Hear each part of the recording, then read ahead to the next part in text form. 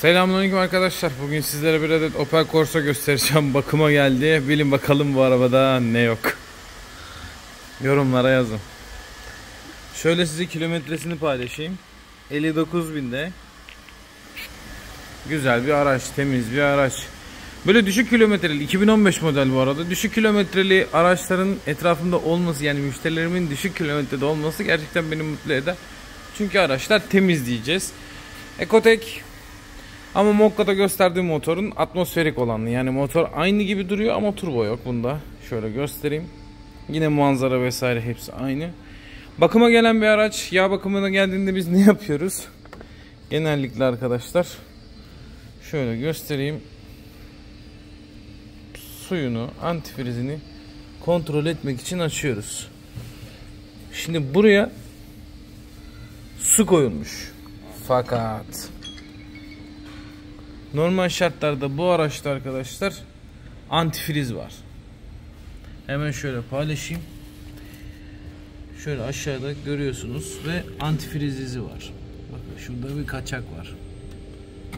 Bu aracı Sinan Usta almaya gittiğinde genleşme kabında keza aynı şekilde Mokka'daki gibi su yok. Hadi onu da geçtim.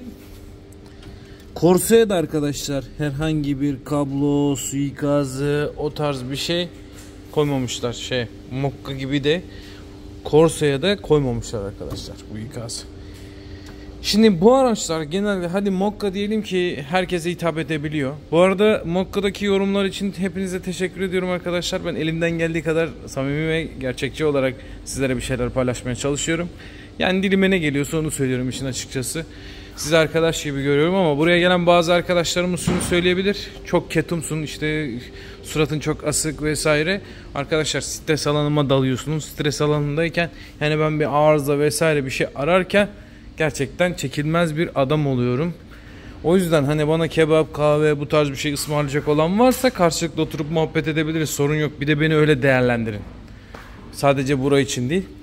Şimdi görmüş olduğunuz gibi burada da bir adet su braketimiz var ve su sızdırmamız var. Bunu sökeceğiz takacağız. Dediğim gibi bunu genelde hep bayanlar kullandığı için mesela benim babam örnek görüyorum. Ben suyu sürekli baktığım için arabaların hiçbirinin kaputunu açmaz ya için hiçbirinin kaputunu açmaz. Eminim ki sizlerin de eşleri, kız kardeşleri işte ne bileyim etrafınızdaki e, bayanlar bu tarz araçları tercih ediyor. Kısa olduğu için, otomatik olduğu için, güzel kullanışlı olduğu için ama hiçbirinin kaputu açıp da suyu kontrol ettiğini düşünmüyorum. Ben arabacı kadınları da biliyorum. Çünkü yaklaşık 8 yıldır burada video çekiyorum arkadaşlar. YouTube'a içerik üretiyorum. Görmüş olduğunuz bütün abonelerim organik. Onu söyleyebilirim. Kesinlikle hani bottur vesairedir o tarz bir şey yapmama gerek yok. Ben zaten bilgi amaçlı yapıyorum. Yani çok bir meşhur olma gibi bir amacım yok. Ama bu kişilerin arasında da ortalama %20 ile 25 arasında bayan var. Ve bu bayanlar arabacı bayanlar. Onlara eyvallah ama %75 küçümsenecek bir rakam değil. Çünkü aşırı derecede bayan sürücümüz var. E ister istemez ne oluyor? Bu tarz bir kaçak ikaz olmadığı zaman motoru Mokka'da anlattığımız gibi haşlayabiliyor arkadaşlar. Ne yazık ki conta yakabiliyor ve sinir kapak azmine sıkıntı çıkartabiliyor. Ola ki Mokka'yı izlemeyenler varsa bu videoyla bana gelenler varsa bunu teker teker diğer konuların üzerinde konuşacağız. Onda devir daim kaçırıyordu. Bunda da keza devir daim aynı ama burada herhangi bir kaçak gözükmüyor Allah şükürler olsun. Devir daim tarafında değil ama arka su braketi ve termostat altı çürük çıkacak gibi gözüküyor. Şimdi bunda da yaptığımız işlerin sizinle diğerinde nasıl paylaştıysam bunda da keza aynı şekilde sökeceğim ve parçayı da sizinle paylaşacağım. Ne var ne yok diye. Yağ bakımına gelen araçların gerçekten suyu olmaması kötü. Ya biz bunları teslim aldığımızdaki artık bana hobi oldu yani şey böyle nasıl diyeyim yapıştı diyorum. Yani ne zaman bir Ecotec motor görsem hani turbo T fark etmiyor. Yani aracı teslim almaya gittiğimde veya buraya geldiğimde ilk kaputu açtığımda artık su bidonuna bakasım geliyor yani. Bu ne diyorlardı? Fobi mi oldu? Fobi herhalde. Yanlış kullanmadıysam. Doğrusunu yorumlarda düzeltirsiniz. Neyse arkadaşlar ben bu arabaya yapılacak işlemi müşteri bilgisi dahilinde eğer sök derse bunu sökeceğim. Sizlerle paylaşacağım. Sökme derse de en azından bir Opel vakasının daha nasıl su kaçırdığını sizinle paylaşmış olacağım. Sizler de kendiniz keza kaputu açtığınızda bunu görmek basit. Bayan sürücüler ilk defa araç kullanacak olanlar, sadece otomatik vitese alışmış olanlar, hiçbir şey bilmiyorum diyen bile şuradan baktığında burada bir su varsa, bakın burada olmaması gereken bir su varsa diyecek ki benim araba tamam kardeşim su kaçırıyor veya su eksiltiyor diyebilecek bu videoyla birlikte. Bakalım ne olacak. Sen onu çek dediğinde çekim karşı tarafı da çek. Sıkıntı yok. Ben çekmeye başladım.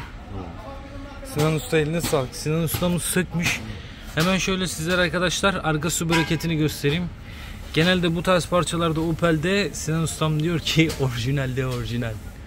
Çok bir fark Opel- yok. Opel'de orijinal olması usta için de iyi, kullanıcı için de iyi.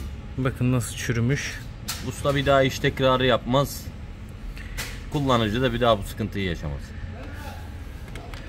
Şöyle gösterelim bırakalım. Yeri de arkadaşlar şu şekilde duruyor. Bu arada bu araç antifrizli. Yani e, antifrizli kullanılıyor. Şimdi siz burada su gördünüz ama kullanıcı arabayı yakmamak için e, şimdilik kullandığı bir su. Tabii şey e, bunda sensör olmadığı için kendisi şeyi fark ediyor. Yüksek hızda fan açtığını fark ediyor. He o Tramvay iyiymiş. yoluna iniyor yani kısa mesafeye gidiyor geliyor yüksek fan açıyor. Bu sefer bir anormallik olduğunu anlıyor. Kaputu açıyor bakıyor ki bidonda su yok. Hatta kendisi de biraz korkmuş. Koyuyorum koyuyorum çekiyor suyu diyor. Koyuyorum koyuyorum hukur hukur çekiyor suyu diyor. İnşallah bir şey olmamıştır dedi. Ee, yani olduğunu zannetmiyoruz zaten şu an. Bir şey olma yani o Erken fark etmiş, fanın sesini duymuş, dikkat etmiş, kaputu açmış, bakmış, suyunu koymuş. Ama tabii üzerine gitseydi ya iki defa, üç defa daha o kısa mesafeyi gidip gelseydi mutlaka bir şeyler olurdu. olurdu değil mi? Evet. Affetmiyor çünkü bu motor. Evet, bunu bundan affetmiyor. Şöyle göstereyim size parçayı. 3 tane vida, bir tane hararet müşürü ve şurada bir adet boru, şuradan sökülen, burada büyük bir boru, şurada küçük bir tapa ve bu tapa da hani şu küçük boru da sıkıntı değil mi? Evet, o küçük borunun geçme plastiği var. Şöyle Şu. göstereyim. Kırılabiliyor. Sadece bununla tutuyor bu bunu. O basıncı bununla tutuyor. O da kırılabiliyor. Yerinden çıkabiliyor. Bunlara da dikkat edin. Görmüş olduğunuz gibi. Yenisi de burada. GM. Şimdi bu parçayı yerine takıyoruz. Allah'ın izniyle antifrizimizi koyuyoruz ve çalıştırıyoruz. Havasını alıyoruz. Aracı teslim ediyoruz. Çalıştırdığım zaman da sizlere göstereceğim. Nasıl toplandığını da sizlerle paylaşacağım. Tabii bizim burada işlemlerimiz olacak. Orayı temizleyeceğiz. Tabii, tabii, Mesela tabii, tabii, tabii. Korozyonu vesaireyi. Çünkü bir sonrakinde tekrar baktığında kişiler orayı görsün ve tanısın. Eğer kaçak varsa Tespit edebilsin en azından. kendi kendine. Veya biz oraya takarken bu conta e, yamuk yumuk oturmasın bir daha kaçırmasın diye Kaçırmasın. karşıdanın tertemiz olması gerek.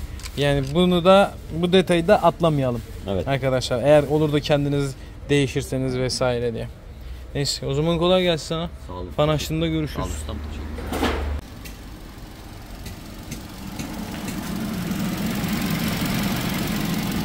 Arkadaşlar neyse ki bir Opel vakasında sonuna geldik. Fan birkaç kere açtı.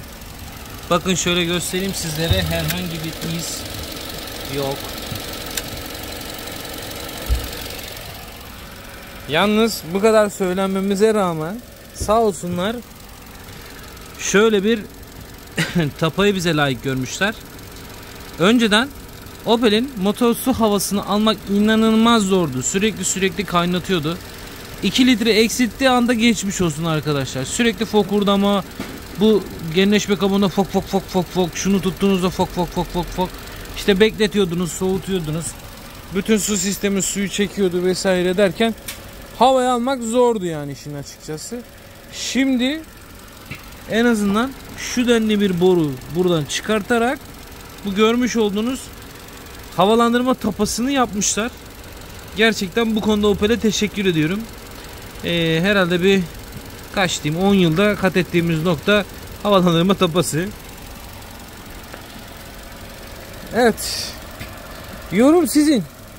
Videoyu ben elimden geldiği kadar bilgi dolu bir şekilde sizinle paylaştım arkadaşlar. Yani nasıl değişeceğinizi, ne olacağını, ne biteceğini. Bakın toplandığında da bu şekilde duruyor zaten.